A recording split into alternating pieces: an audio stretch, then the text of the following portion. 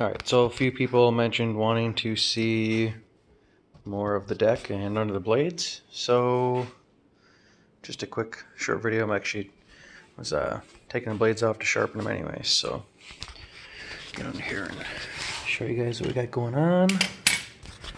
So alright, that's that. I already took the the center one off and sharpened it.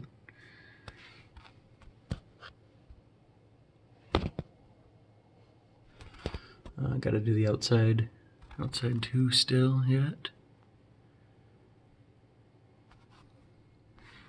Otherwise, yeah, that's uh, not much to it.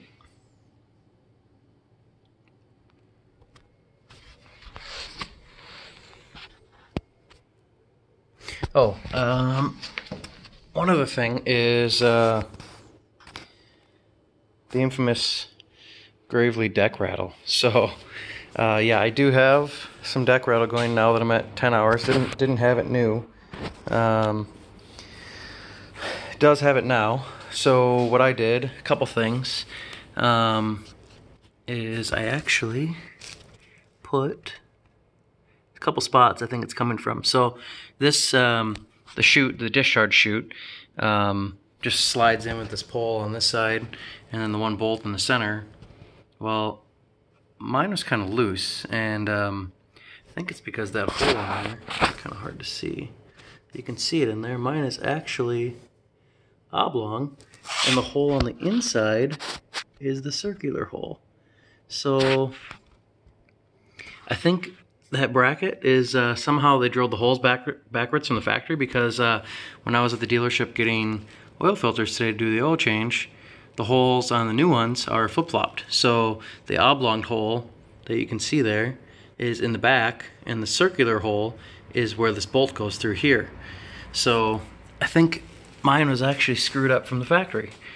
But uh, anyway, so that was rattling. So I put um, a couple pieces of rubber underneath there you can see just to separate it from the deck. And uh, now it's it's rock solid now no rattles there. However, um, one of the other things I noticed is these guys. So the bogey wheels, they're just, they're bushings. They're not bearings on this one. And I don't know if you're gonna be able to see it, but there is that little uh, washer in there that you can see. It's like a wavy washer. And those have already flattened out. So now this wheel has play side to side and uh, and they all do it. So uh, even though they don't really spin, the spinning isn't the problem. It's just that the deck is vibrating, and they are vibrating because the deck is vibrating. So they all they all do it now. So every single one of them. This is the worst one. So most of my deck rattle sounds like it's coming from the side.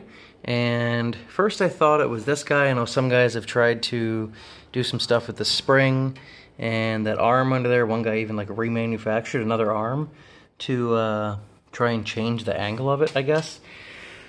I'm not going to get that crazy with it, but I am going to get some um, washers and put a washer on each side just to uh, tighten this up a little bit. So because, uh, yeah, as you can see, this is the worst one. So if I can steady the camera here. You can see all that movement in this one. And that's where it sounds like all my noise is coming from this side, so I'm guessing it's that. And also the bogey wheel underneath also rattles. So, I mean, that's that's really my only complaint is that that um, deck noise. Otherwise, it's it's an amazing mower, so no problems. But I, I'm pretty sure that most of my noise anyway is coming from the from the, the bogey wheels on the deck. So gonna or anti-scalp wheels, sorry. I guess bogey wheels from from snowmobiles is what I'm used to calling them, but uh, just the anti-scalp wheels. So pretty sure that's um, where my noise is coming from. So because there's really nothing else um, under here that can actually actually rattle. So everything else is pretty Got quite a bit of space between it and the top of the deck and and everything else. So anyway, give you another shot of that. So there's really nothing else in here that can actually rattle.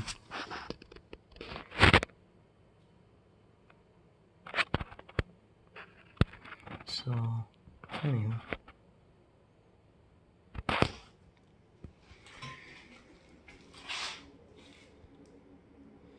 Think that's about it for that. I'm trying to get my, there we go. Now my autofocus is working. Wasn't working very well before, so. Anyway, um, yeah, I think that's about it. If you guys got any questions, as always, let me know in the comments, and have a good night.